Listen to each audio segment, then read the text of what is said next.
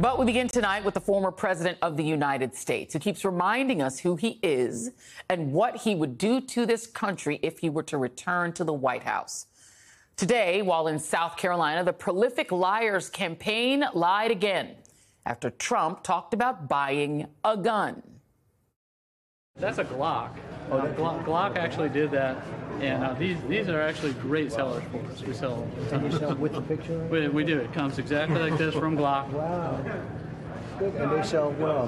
They, sell they like me. well. Of course. 45. They like I gotta buy one. I want to buy one. Sir, sir, if you want one, this one. No, I want to buy one. I want to buy one. Ha ha ha. His campaign informed the media that he had, in fact, purchased the gun, which is technically illegal given his felony indictments.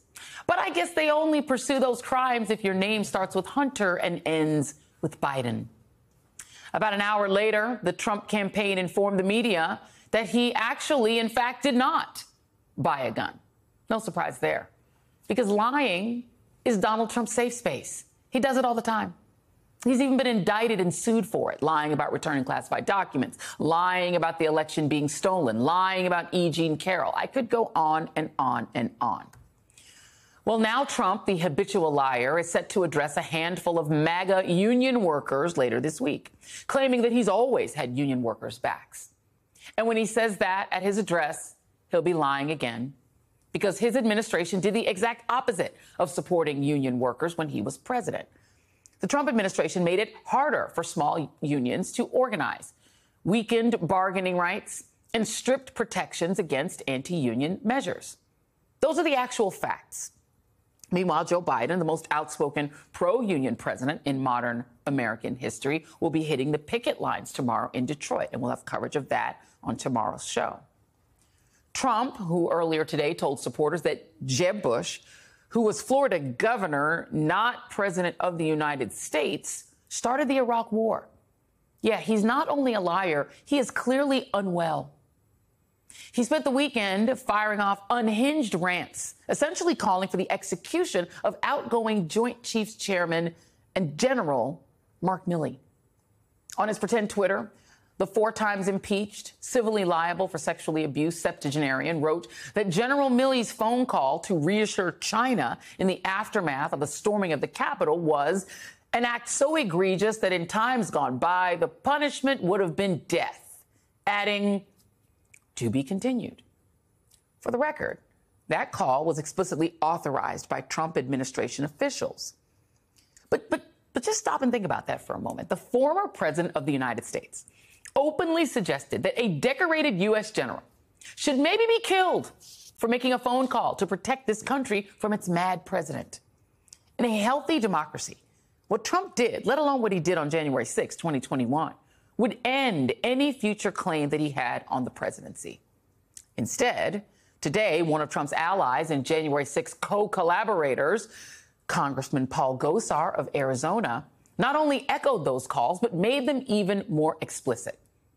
In his weekly newsletter, Gosar wrote that in a better society, Quislings like the strange sodomy promoting General Milley would be hung.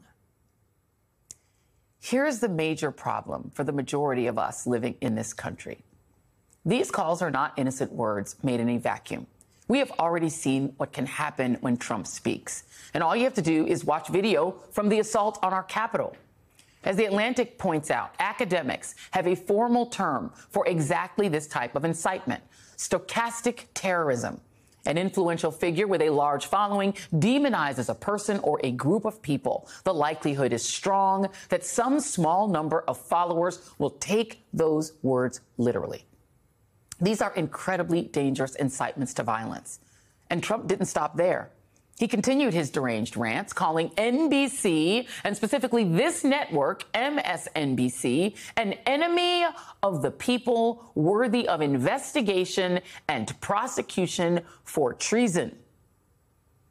Now, the rest of the media can lead with questions about Biden's age, but don't you think that it's a little more consequential to ask the American people if they support threats of violence against an Army general?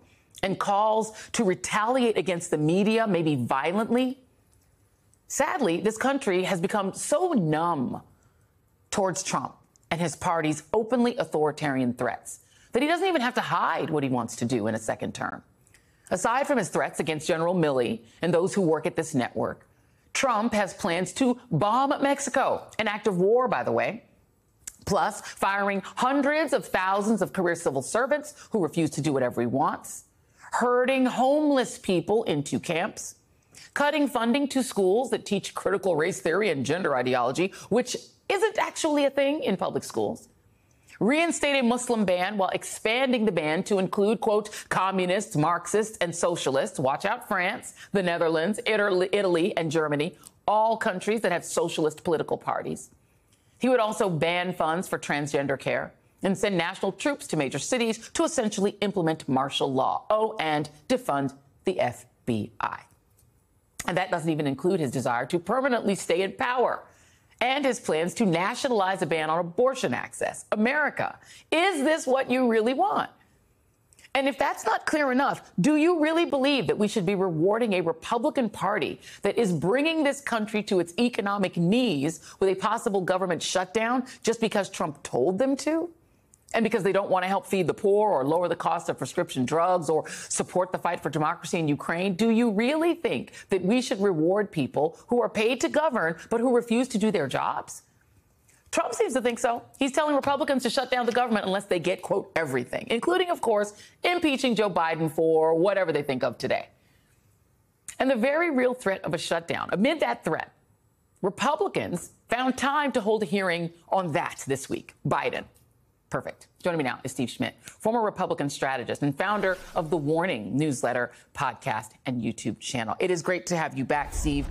I don't even know where to begin. So I am just going to let you respond to that. Because the thing is, is that Donald Trump is being very open about what a second Trump term, which would be a permanent, apparently, Trump term, would entail. What do you make of the fact that it does seem to me that the country, and in many cases the media, seems numb to it? I think there's no question that the country and the media is numb to it. The threshold in this moment is very simple. Everything that Donald Trump says should be taken literally and seriously. What he did today was threaten the employees, the journalists at NBC News. What he said more broadly is he's going to shut down the free media in the United States what he announced today as a candidate for president in 2023 is he's coming after the American media. He's coming after his political opponents. Why is he running for president? He's running for retribution. Retribution, according to Donald Trump, is a philosophy of avenging anybody who was against him. So we are on the edge of an abyss in this country. And it seems that there is a paralysis, a numbness, a total disregard for the clear and present threat. There is something extraordinary happening. The people who are trying to tear down democracy in the country keep telling the rest of the country what it is they plan to do to such a degree that they have announced their plans six months into 2025 to have taken apart the whole of the federal government. Now, since FDR's time in office, the legislative metric in the United States has been 100 days, not six months. This is a racist code whistle to every white supremacist in the country because it's how long it took Adolf Hitler to take Weimar Germany to a complete and total dictatorship. That included, by the way, the military swearing an oath of allegiance, not to the nation, but to the Fuhrer. And the military was the institution amongst many in Germany that were the last holdouts to this. But once he was in power, they were the first to submit. And what Donald Trump is signaling to the officer corps of the American military, you get in line behind me, the leader, not the idea, not the Constitution, or I'm coming for you too.